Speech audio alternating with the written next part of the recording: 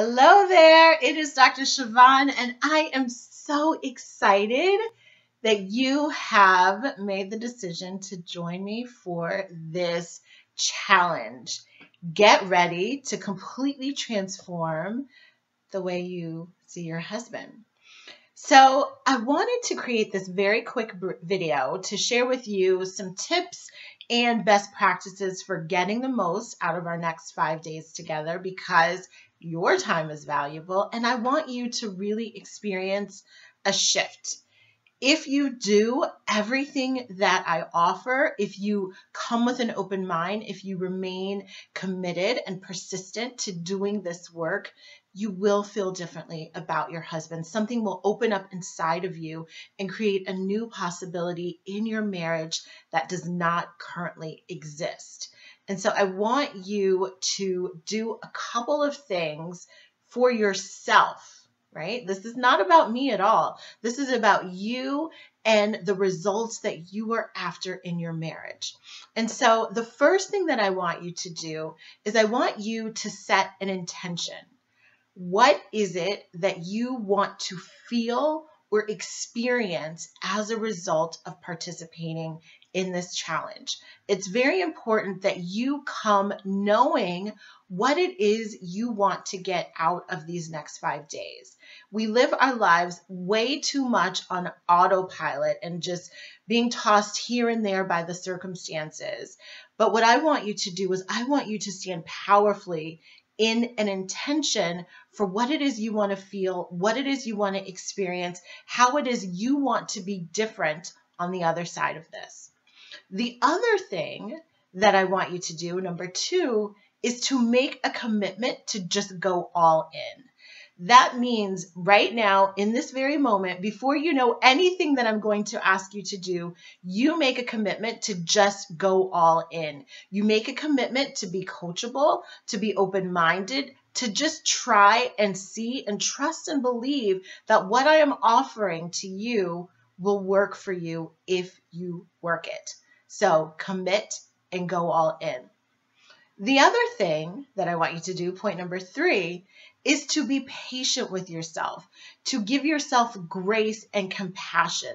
You are literally we rewiring your brain. So for months or years even, you have been thinking a certain way and accumulating a lot of evidence to prove what it is you think you're seeing. And so this process is undoing all of the stuff that's not helpful, that's not serving you or your marriage. And so I want you to be patient with yourself. I want you to give yourself grace when you go back into your old way of thinking and know that as long as you keep moving forward, you will get this right. As long as you keep moving forward, you will figure it out and things really will begin to shift and your mindset and the way you see your husband will really be different. The other thing that I want you to do is to become obsessed with the process of this work over becoming obsessed with the results of this work. What does that mean? So, a lot of times, what ends up happening is we make a change within ourselves and we want to see an immediate result. We want to see an immediate impact. And so, we look for the results to the neglect of who are we becoming in the process of changing our minds about our husbands. We look for him to start doing things differently. We look for him to start responding to us different. And that will happen in time. But what is even more important than that is that you fall in love with the process, meaning you're not distracted, you're not discouraged, you don't feel defeated if he is not responding the way that you want him to. This is about you and your inner transformation.